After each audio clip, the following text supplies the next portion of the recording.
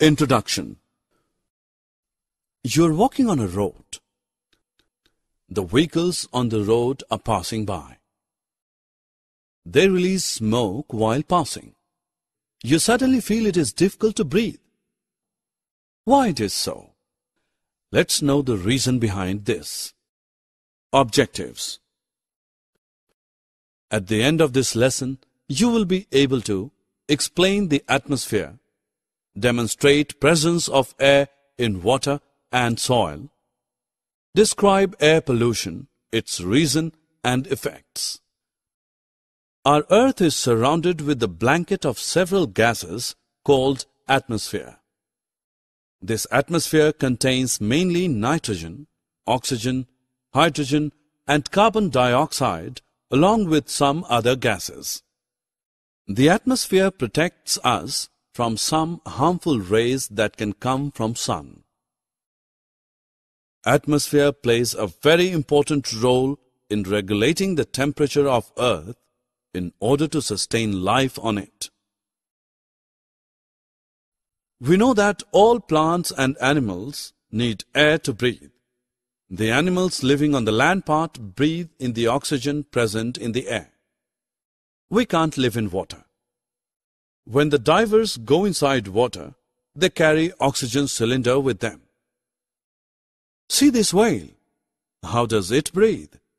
Similarly, how do the aquatic plants get carbon dioxide and oxygen in water? You'll be surprised to know that they breathe air only. Don't believe? Come, let us do an activity. Take some water in a beaker. Heat it to boil. Can you see the bubbles coming out? Where are these bubbles coming from? These are coming from water only.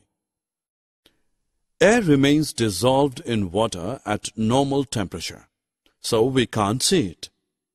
When water is heated, the dissolved air comes out as bubbles.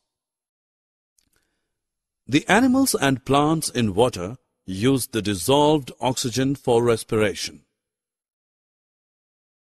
How do the organisms living in soil get oxygen?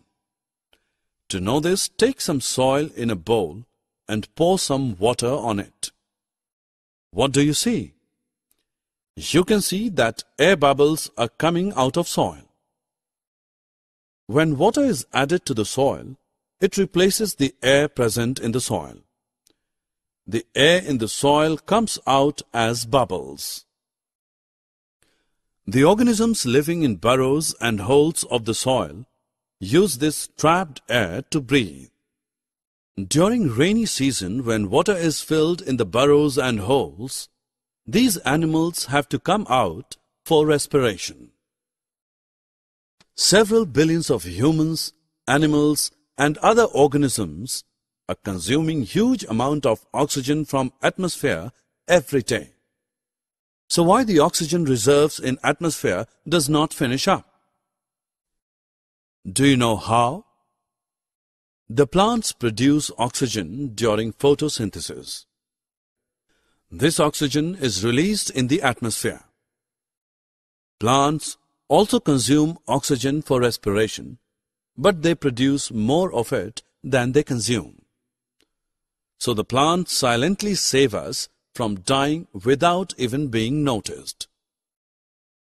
What if carbon dioxide is pumped more into atmosphere and it is beyond the capacity of plants to maintain the carbon dioxide-oxygen balance?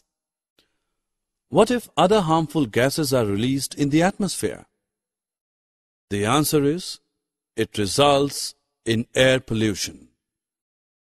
Cars, scooters, air conditioners, refrigerators, and many other things release harmful gases that pollute air.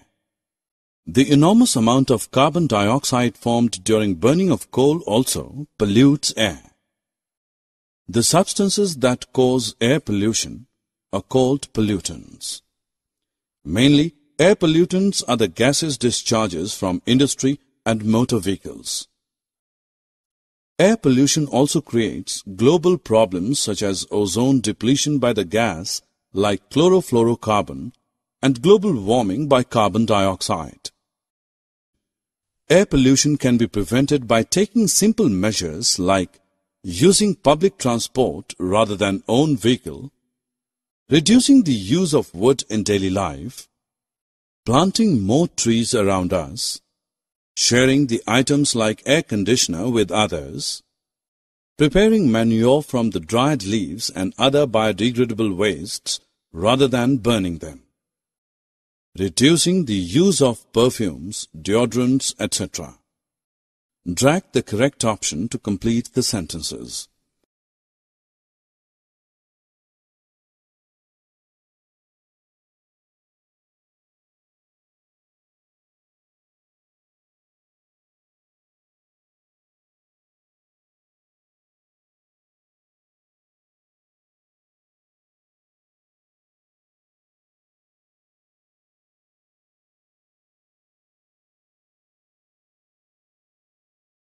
Summary Let us summarize what we have learned. The envelope of air surrounding the earth is called atmosphere. It is essential for life on earth. Animals and plants living in water uses dissolved air for respiration. Animals living in soil use the trapped air in it for respiration. Air pollution is the contamination of the atmosphere by harmful gases and particulates. Air pollution can be reduced by taking few simple measures.